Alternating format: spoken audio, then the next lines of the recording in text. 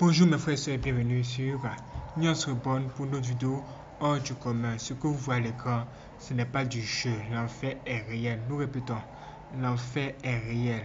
Et si nous faisons cette vidéo, c'est pour demander aux gens d'apprendre à faire le bien, d'apprendre à être sain, à se sanctifier et même se préparer à aller au ciel. La plupart du temps, les gens courent après l'argent, l'argent matin, midi, soir.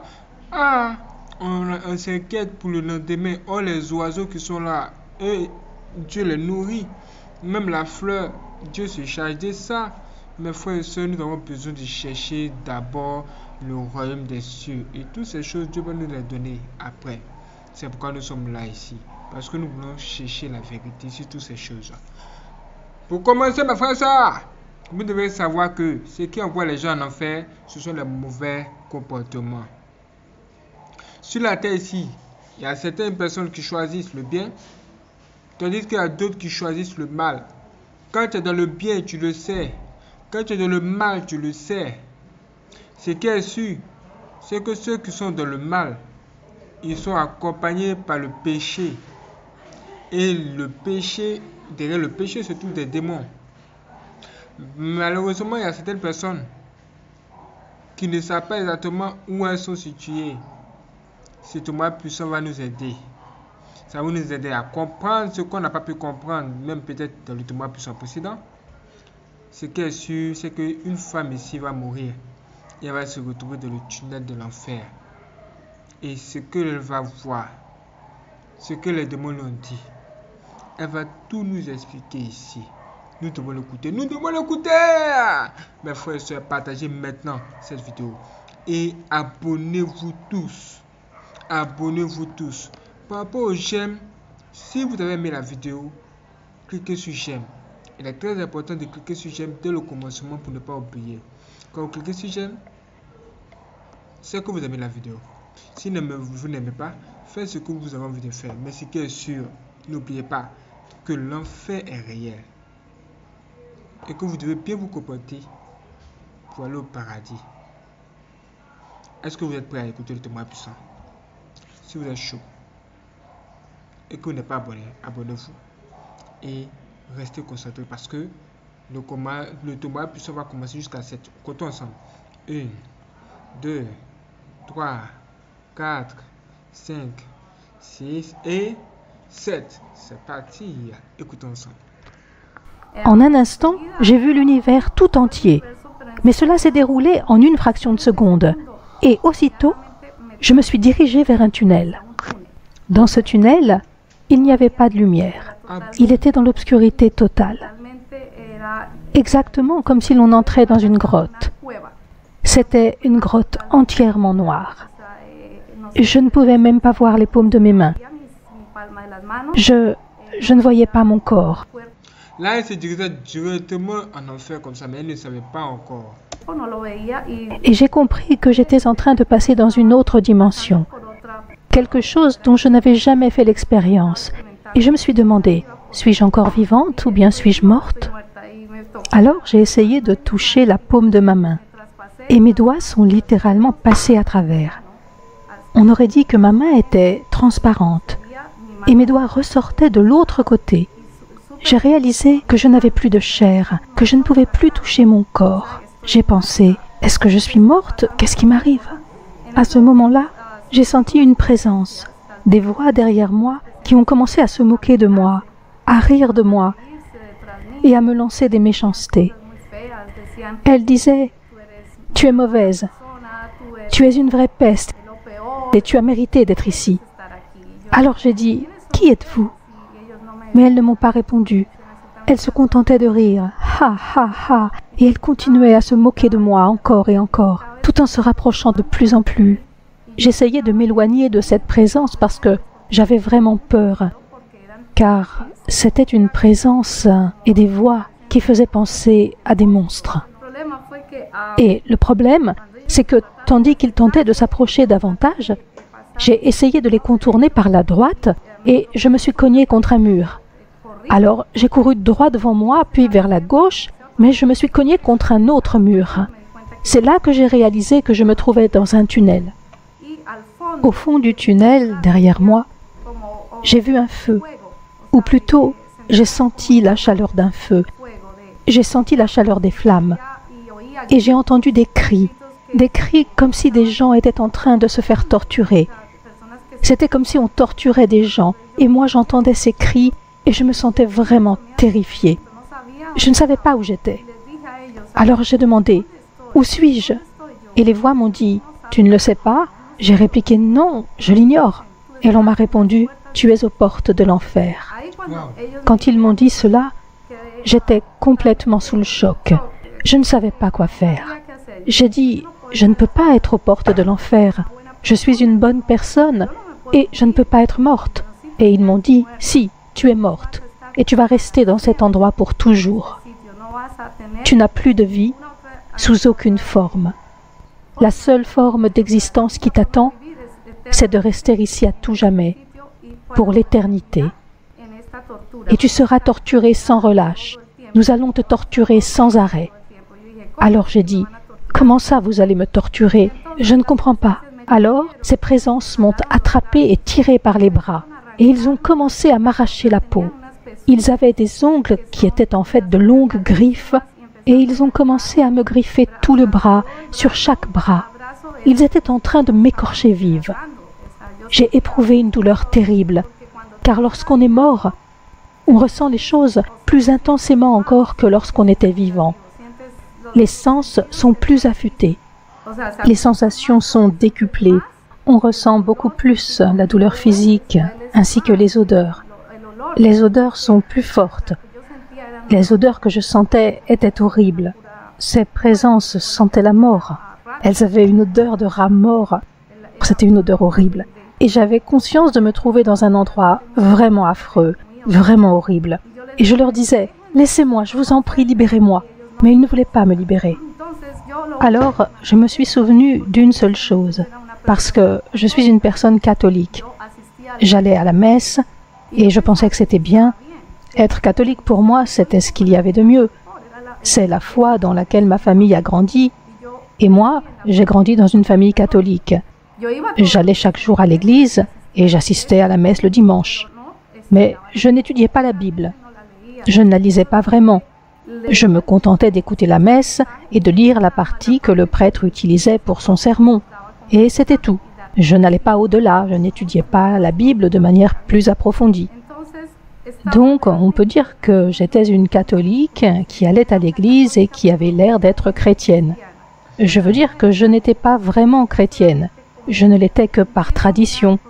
J'allais le dimanche à la messe et voilà. Mais cela s'arrêtait là. Je ne faisais rien de plus. Et ma maison était remplie de statuettes.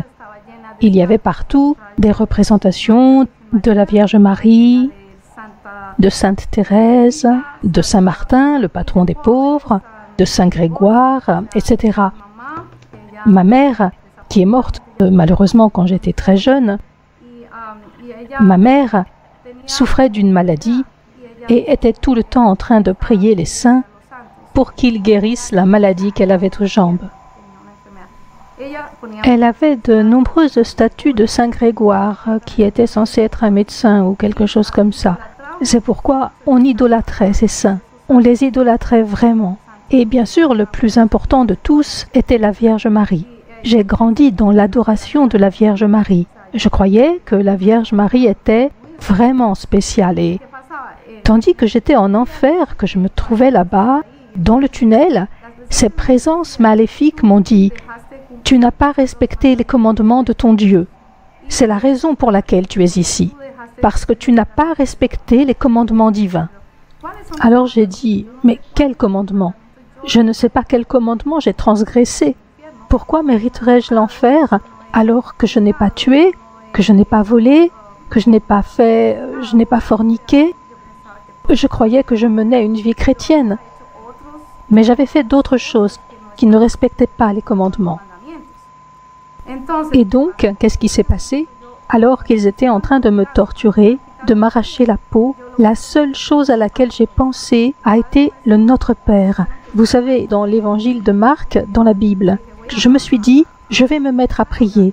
Et j'ai récité Notre Père qui es aux cieux, que ton nom soit sanctifié. Et plus je récitais, plus les démons me torturaient. Ils m'écorchaient encore davantage, et je criais, mais je continuais, j'insistais, je disais non, je ne resterai pas ici. Je sais qu'il y a un Dieu qui va me pardonner, je sais qu'il y a un Dieu qui va faire preuve de miséricorde et me sortir de cet enfer. Je ne peux pas rester ici pour l'éternité. C'est impossible que je passe l'éternité en enfer. Et j'ai continué, continué, jusqu'à ce que je termine le Notre Père. Et lorsque j'ai eu fini le Notre Père, je me suis souvenu que le seul nom qui est au-dessus de la terre, au-dessus de tout l'univers, est le nom de Jésus. Alors je leur ai dit, je connais un nom qui est au-dessus de la terre et de l'univers et qui est plus puissant que vous. Et je vais prier en m'adressant à lui pour qu'il me fasse sortir d'ici, qu'il me libère de cet enfer. Et il me répondait, non, non, non, tu vas rester ici, abandonne tout espoir, tu resteras ici pour toute l'éternité. Et moi je disais, non, je sais que si je me tourne vers lui, il m'entendra et me sauvera. Alors j'ai commencé, j'ai dit, Jésus, je t'en prie, sauve-moi. Et au début, il ne s'est rien passé. La première fois, il ne s'est rien passé. Je l'ai invoqué une seconde fois et il continuait de me dire, non, tu ne sortiras pas d'ici, tu vas rester ici pour toute l'éternité. Et la seconde fois, j'ai dit, Jésus, s'il te plaît, aide-moi. Je t'implore de me pardonner mes péchés. Pour tout ce que j'ai fait de mal dans ma vie, pardonne-moi. Je me repens de mes mauvaises actions. Si je n'ai pas traité quelqu'un comme il faut, si j'ai négligé l'un de tes commandements, si j'ai transgressé un de tes commandements, je t'en demande pardon. Montre-moi le chemin que je dois suivre. Indique-moi le chemin qui me permettra de me purifier et d'être auprès de toi. Je ne veux pas rester ici. Et j'ai répété à nouveau, Jésus, je t'en prie, sauve-moi. Mais il ne s'est rien passé non plus. Et tout ce temps, je pleurais en réclamant la miséricorde divine. Et j'étais en train de me faire traîner vers l'arrière, au fond du tunnel. Il s'apprêtait à me jeter dans le feu, dans les flammes éternelles. Je sentais que j'étais sur le point de brûler. Les flammes étaient déjà presque sur mon corps. Et à ce moment-là, la seule chose que j'ai réussi à dire fut ⁇ Jésus, je promets de te suivre pour toute la vie. Toute ma vie, je ne suivrai plus que tes enseignements. Je suivrai ta parole. Je te promets que je te serai fidèle. Donne-moi seulement une opportunité, une seule chance de continuer à vivre pour pouvoir changer mon existence. Mais sauve-moi, fais-moi sortir d'ici, libère-moi s'il te plaît. Et à ce moment-là, les démons ont disparu. Ils m'ont rendu ma liberté. Et j'ai pensé, waouh, qu'est-ce qui se passe? Quelque chose s'était produit et je n'étais plus dans le tunnel. Le tunnel s'était ouvert et à présent il y avait un chemin magnifique. J'avais l'impression de marcher au milieu d'un jardin, un jardin rempli de fleurs, des fleurs divines, d'une beauté incroyable. De toute ma vie, je n'avais jamais vu de fleurs comme celle-ci. C'était comme si elles bougeaient, comme si elles étaient en train de danser et en même temps de chanter Hosanna, Hosanna. Du plus haut des cieux, béni soit le Seigneur, le roi des rois. Béni soit notre Seigneur Jésus-Christ. Que la gloire soit avec lui. Gloire à notre Seigneur Jésus-Christ. Et j'étais là, waouh, c'était simplement incroyable. Je sentais l'amour de Dieu pour les hommes, comme s'il était en train de me prendre dans ses bras et qu'il me disait ⁇ Je t'aime ⁇ Je sentais sa présence si immense que j'ai eu comme un mouvement de recul, et je me suis mise à pleurer, à pleurer, à pleurer. Je sentais que je ne méritais pas d'être là. J'avais l'impression que je méritais l'enfer. Pourquoi est-ce que je pensais cela? Parce que je n'étais pas pure. Mon cœur n'était pas assez pur, ni mes sentiments. J'avais fait beaucoup de choses sur terre et Dieu m'a révélé que parmi elles, j'avais commis de nombreuses mauvaises actions. Mais à ce moment-là, j'ai continué à marcher sur ce chemin tellement magnifique. Il débouchait sur une sorte de cascade. Et au bout du chemin, je voyais cette cascade. Une cascade d'eau pure, cristalline, qui coulait. Et je ressentais que cette eau était en train de me laver, comme si elle était en train de faire sortir tout ce qu'il y avait d'impur de ma vie antérieure, de ma vie passée. Je sentais toute cette eau me laver, me purifier, dans mon cœur, mon âme. Et alors, j'ai été envahi d'une sensation de paix, une paix telle que je n'en avais jamais éprouvée jusque-là dans ma vie. Jamais. Et jamais plus je ne ressentirai une paix telle que celle que j'ai ressentie tandis que j'étais en présence de Dieu. Et je sentais l'amour de Dieu envers moi. Et il m'a dit, ma fille, vous savez, à ce moment-là, Jésus est apparu devant moi et il m'a dit, arrête-toi, arrête-toi un instant, attends. Alors je me suis arrêtée et il m'a demandé, sais-tu où tu allais? Et j'ai répondu, oui, j'allais en enfer. Oui, tu allais être condamné à l'enfer. Alors je lui ai demandé, mais pourquoi? Je pensais être une bonne personne, je veux dire, j'allais à l'église, je communiais, je me confessais, etc. Et il m'a dit, non, attends, je vais te montrer ta vie. Et il a commencé à me montrer ma vie comme on regarde un film, un film tel qu'on en voit quand on va au cinéma. Et il a commencé à m'expliquer, à ce moment de ta vie, quand tu avais tel âge, tu as commis une mauvaise action parce que tu as menti à ton père. Tu as dit une chose, mais en as fait une autre. Et ce petit mensonge, ici, au ciel, est un mensonge très grand. C'est un grand péché. Je n'avais jamais imaginé qu'en disant des mensonges ou en pensant du mal de quelqu'un, d'un ami ou d'une autre personne, cela serait considéré comme un péché une fois au ciel. Or, au ciel, c'est un grand péché. Et le pire, a-t-il ajouté, est que tu as idolâtré ma mère, la Vierge Marie. Alors j'ai répondu, oui, mais est-ce que c'est mal? Et il a répondu, oui, c'est très mal, car il ne faut idolâtrer personne, ni les saints, ni même ma mère car le seul que tu dois honorer et idolâtrer, c'est moi. Tu dois rendre gloire au Père, au Fils et au Saint-Esprit, puisque nous sommes trois en une seule personne. Et il m'a dit, tu dois rendre gloire seulement à Dieu, pas à la Vierge, ni aux autres saints, ni à d'autres personnages. Et j'ai répondu, oui Père, tu as raison. Et il a dit, un autre péché pour lequel tu as été condamné, et il s'agit du pire péché, pour lequel tu étais destiné à l'enfer, et que tu n'as pas su pardonner. J'ai demandé Qui n'ai-je pas pardonné? Je ne vois pas qui je n'aurais pas pardonné. Et il m'a dit Tu sais qui tu n'as pas pardonné.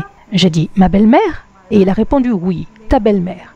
Alors je lui ai dit Mais elle a tué ma mère Car je sais qu'elle a tué ma mère. J'ai dit Elle pratique la sorcellerie. Elle pique des aiguilles dans des poupées. Elle pratique le vaudou. Et il m'a répondu oui, c'est une sorcière. C'est une sorcière. J'ai ajouté Elle a tué ma mère. J'ai trouvé une poupée avec une aiguille plantée dedans quand ma mère est morte. Et après, mon père l'a épousée. Je savais que ma belle-mère avait échafaudé ce plan pour s'accaparer mon père. Alors j'éprouvais du ressentiment à son égard dans mon âme. J'éprouvais du ressentiment envers ma belle-mère. Et je sentais que... Pardon que c'était de ce ressentiment dont il s'agissait. Et je ne pouvais pas oublier cela quand je pensais à elle, parce qu'elle avait tué ma mère. Et pour moi, il n'existait rien de pire. Je veux dire, cette femme avait tué ma mère pour pouvoir être avec mon père. C'était injuste. Et j'étais enfant unique à cette époque. Je n'avais ni frère ni sœur. La seule personne à laquelle je pouvais me confier, c'était ma mère. Elle était à la fois mon amie et ma mère. Et elle m'a pris ma mère. Je me suis retrouvée sans mère, je n'avais plus que mon père. Comme je n'avais ni frère ni sœur, je me sentais très seule. Durant toute mon adolescence, ça a été une période vraiment triste parce qu'il n'y avait personne à qui je puisse confier mes secrets, personne avec qui partager les choses importantes. Ma mère n'était plus là. Elle est morte quand j'avais 15 ans. Donc, peu après que j'ai passé mon baccalauréat, ma mère est morte malheureusement. Et c'est arrivé à cause, à, cause de la sorcellerie, à cause du mauvais sort que ma belle-mère lui avait jeté. Ce qui s'est passé, c'est que quand je suis morte, ce ressentiment me dévorait l'âme. C'était quelque chose dont je ne pouvais débarrasser mon cœur rempli d'amertume une amertume qui vous blesse et qui assombrit votre existence. Et il m'a dit, voilà quel était le péché le plus important que tu portais en toi, le péché qui te condamnait à l'enfer. Et j'ai fait, oh, wow, tu as entièrement raison, Seigneur. Je méritais l'enfer. Malheureusement, nous croyons que le fait de ne pas pardonner est une broutille, alors qu'en réalité, ne pas pardonner est un immense péché. Et c'est écrit dans la Bible, frères et sœurs. Si vous ne pardonnez pas, vous ne serez pas pardonnés. Dieu te pardonnera si tu pardonnes tes frères. Peu importe qu'ils aient tué ta mère ou qu'ils t'aient fait du mal, à toi ou à ta famille, cela ne change rien. Tu dois les aimer. Il est écrit que tu dois aimer ton pire ennemi. C'est écrit. Et c'est ce que Dieu m'a dit. Il faut que tu aimes cette femme, il faut que tu l'aimes et que tu la pardonnes. Si tu ne la pardonnes pas immédiatement, je te renvoie en enfer. Alors j'ai dit, non, non, non, Seigneur, je te promets que je la pardonne. Je ne veux pas retourner en enfer. Alors il m'a répondu, d'accord, mais il faut vraiment que tu la pardonnes du fond du cœur. Ce n'est qu'ainsi que tu pourras rester ici ou bien retourner sur terre, car je vais te laisser le choix. Fais ton choix, tu peux rester ici ou retourner sur terre. Et j'ai pensé, oh, je ne sais pas quoi faire. J'aimerais bien rester parce qu'être au ciel est une véritable grâce. C'est quelque chose d'incroyable. On ressent un amour qui dépasse ce que l'on peut imaginer. On est dans un état d'amour et de paix, de sérénité divine. On n'a plus aucune préoccupation, plus aucune inquiétude qui gâche l'existence. On ressent un bonheur absolu, une joie divine.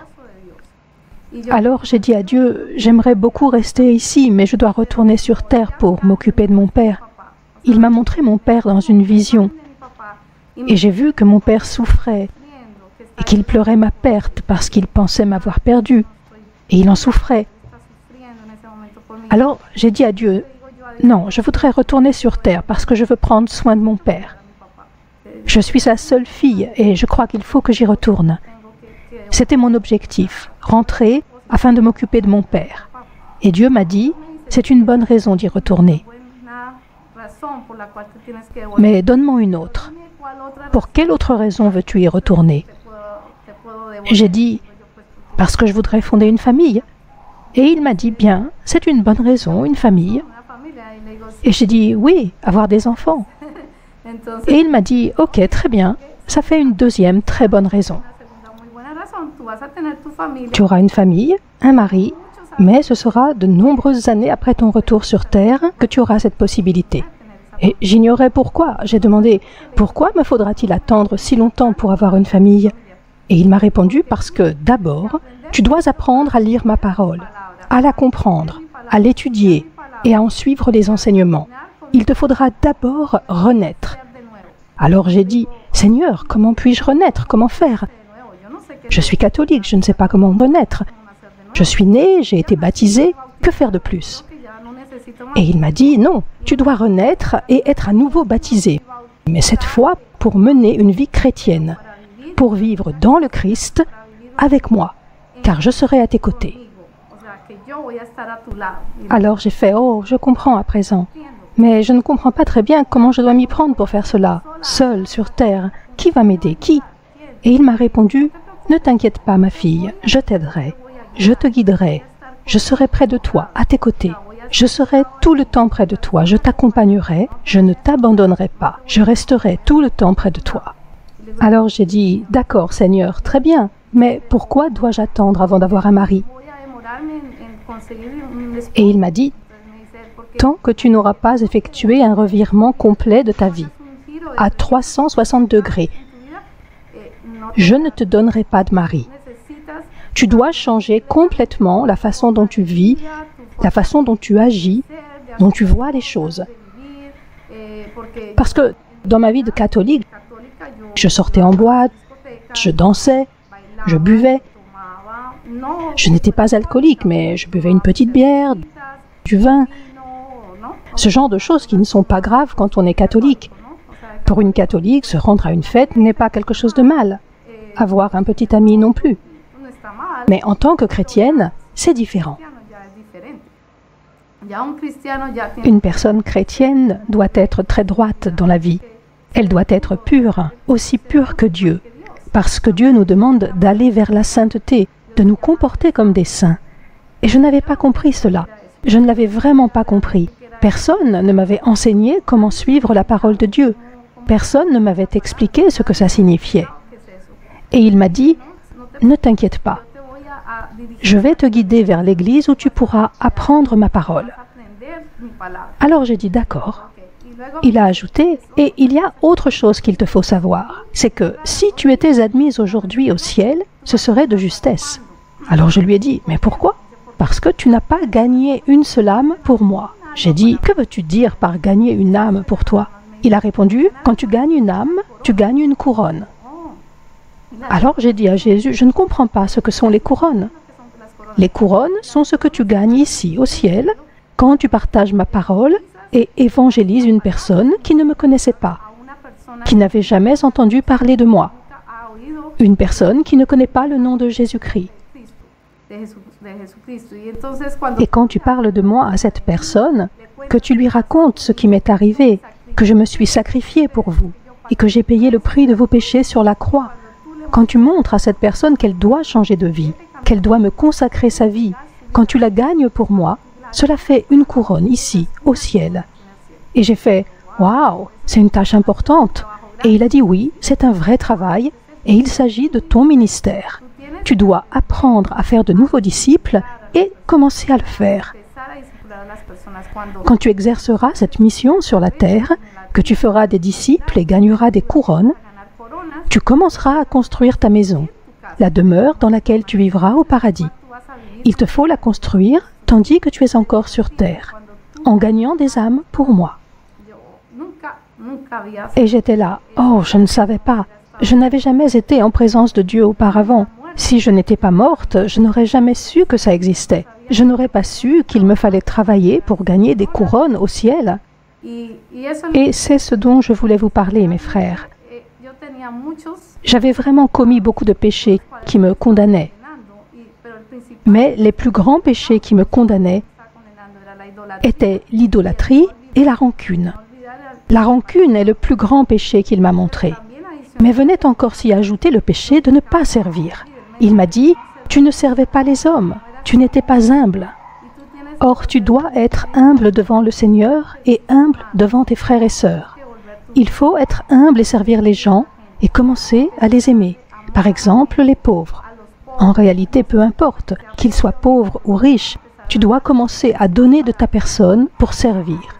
Tu dois donner de toi pour les servir, que ce soit un orphelin ou une orpheline, une veuve ou un veuf. Il faut aller voir les personnes âgées, les personnes du troisième âge, leur donner de l'amour, leur apporter ce qu'ils n'ont pas parce qu'ils n'ont plus de famille. Il faut que tu commences à donner de l'amour aux gens sur Terre. C'est la seule façon dont tu peux gagner les couronnes dont je t'ai parlé. Voilà ce que je veux que tu fasses, que tu commences à donner de l'amour aux gens, chose que tu n'avais jamais faite en tant que catholique. Et j'ai répondu, oui, c'est vrai, je n'ai jamais fait cela en tant que catholique. Je n'avais pas l'idée de servir les hommes comme on le fait dans l'Église chrétienne. En tant que catholique, je ne me sentais pas particulièrement concernée par tout ça. Je me sentais davantage concernée par le fait de bien m'habiller, d'aller dans le meilleur lycée ou la meilleure fac, de m'habiller à la mode, de voir les films à la page. Et je croyais que c'était bien comme ça. Mais ce n'était pas bien. J'étais dans l'erreur. Ce que je vivais était un péché car je menais une vie mondaine et c'est un grand péché. Ensuite, il m'a dit, je vais te renvoyer sur terre. Mais avant que je te renvoie, tu dois savoir que tu auras un but. Et ce but est ce que je vais t'expliquer maintenant. Ton but doit être de partager ton témoignage avec toutes les personnes que tu rencontreras sur la terre et de leur dire qu'il y a un paradis et un enfer, que l'enfer existe bien et que le paradis existe bien, et que s'ils commettent un péché, ils iront en enfer. Cela veut dire, mes frères, que si vous ne suivez pas l'un des dix commandements, cela vous condamne à l'enfer. Et c'est vraiment triste de savoir qu'il y a tellement de gens qui se condamnent à l'enfer, car les âmes qui sont en enfer se comptent par milliers. Et c'est un endroit vraiment horrible auquel vous vous condamnez en commettant un simple péché et je voudrais vous dire, mes frères et mes sœurs, qu'aucun être humain ne mérite d'aller dans cet endroit. Je veux dire que ce n'est pas un endroit où les gens voudraient aller après leur mort. L'endroit où l'on mérite vraiment d'aller, c'est au ciel et non en enfer. Je vous le demande, mes frères, si vous savez en ce moment que vous êtes dans l'erreur, repentez-vous de cette erreur, de ce grand défaut qui pèse sur vous en tant qu'être humain et donnez votre vie à Jésus-Christ et commencez à vivre en suivant le modèle de Jésus. Sanctifiez-vous, sanctifiez votre vie et donnez le meilleur de vous-même aux gens. Efforcez-vous de mener une vie droite et non une vie de péché, parce que vivre dans le péché vous mènera en enfer. Et avant que je rentre, Dieu m'a dit, je vais te renvoyer sur terre, mais à ton retour, tu ne garderas pas beaucoup de souvenirs de tout ceci. Certaines parties manqueront parce que je vais les effacer de ta mémoire. Parce que si tu gardes le souvenir de ces monstres, de ces démons, tu ne pourras pas vivre ta vie. Tu feras des cauchemars toutes les nuits. C'est pourquoi je vais effacer de ton esprit cette partie afin que tu puisses continuer à vivre. Mais je vais te laisser certains souvenirs et un jour, le souvenir de tout ce qui s'est passé te reviendra dans un rêve. Cela se produira à un moment de ta vie où tu auras mis ton cœur à mon service, que tu auras été véritablement baptisé, que tu auras pris la décision de me suivre à 100%. Ce jour-là, je t'enverrai ce rêve afin que tu te souviennes de ce qui s'est passé et que tu puisses témoigner auprès des hommes. Et ce qui s'est passé, mes frères, c'est que je suis revenu sur terre. Et devinez où je me trouvais? Je me trouvais à la morgue. Et j'étais couverte d'un drap et une employée de la morgue prenait des notes à propos des circonstances dans lesquelles j'étais morte. Et là, je me suis réveillée. Et cette personne, au moment où j'ai soulevé le drap, s'est mise à crier Ah, qu'est-ce qui s'est passé? Et j'ai répondu Je ne sais pas, j'ignore ce qui s'est passé, je suis vivante. Et elle m'a dit Mais vous étiez morte, vous étiez morte depuis une heure. J'ai été morte pendant une heure. Et je lui ai dit Eh bien, je sais qu'il y avait une présence et qu'il s'agissait de Dieu. C'est lui qui m'a renvoyé. Je sais que c'est Jésus qui m'a donné cette chance de revenir et de continuer à vivre, de revenir sur terre dans un but bien précis. Mais je ne me souvenais de rien. Je ne me souvenais pas de ce qui s'était passé pendant tout ce temps. Je me souvenais seulement que j'avais été en présence de Jésus. C'est une présence qu'il est impossible d'oublier. La présence de Jésus que je ressentais était d'une beauté qui dépasse tout au moment où j'étais au ciel. Le ciel ne peut pas être comparé à la terre. Il n'existe pas de lieu plus magnifique. Rien n'est plus beau que d'être au ciel, en présence de notre Père. Et surtout, il y avait Jésus. Je ne pouvais voir son visage car il était pure lumière. Une pure lumière qui émanait de ses yeux. Je voyais sa toge blanche très belle et l'écharpe qu'il portait ici et qui était de couleur violette, et ses sandales qui étaient dorées, et ses pieds magnifiques qui portaient les marques de la crucifixion qu'il avait sur les mains et sur les pieds. Et c'est incroyable, mais le simple fait de sentir la présence de notre Seigneur Jésus-Christ est une expérience d'une beauté incroyable. Jamais je ne pourrais continuer à vivre comme je le faisais avant d'être en présence de Jésus. Être chrétien est un engagement. Un engagement vis-à-vis des dix commandements, vis-à-vis de soi-même en tant que personne, afin d'améliorer sa vie pour lui donner davantage de sens. Donner le meilleur de toi aux hommes et en même temps donner aux hommes le meilleur de Dieu. Parce que Dieu est en toi, Jésus est en toi. Et à travers Jésus, on peut tout accomplir. Quand je suis revenu sur Terre, il m'a fallu trois mois pour récupérer. Parce qu'à ce moment-là, ma tête était de la taille de trois ballons de basket. Trois ballons de basket. Ma tête était énorme et elle était complètement brisée. Et les docteurs m'ont dit qu'ils m'avaient fait des radios, un électrocardiogramme, un électroencéphalogramme. Et ils m'ont dit, on ne sait pas comment vous arrivez à parler, à coordonner vos gestes. Parce que d'autres personnes dans le même cas que vous sont restées dans un état végétatif. Je n'aurais pas pu parler, je n'aurais pas pu marcher ou faire quoi que ce soit s'il n'y avait pas eu la présence de Dieu et son amour infini envers nous et qu'il ne m'avait pas renvoyé sur terre saine et sauve, sans aucune, euh, aucune, comment dit-on, sans aucune séquelle, sans aucune lésion cérébrale.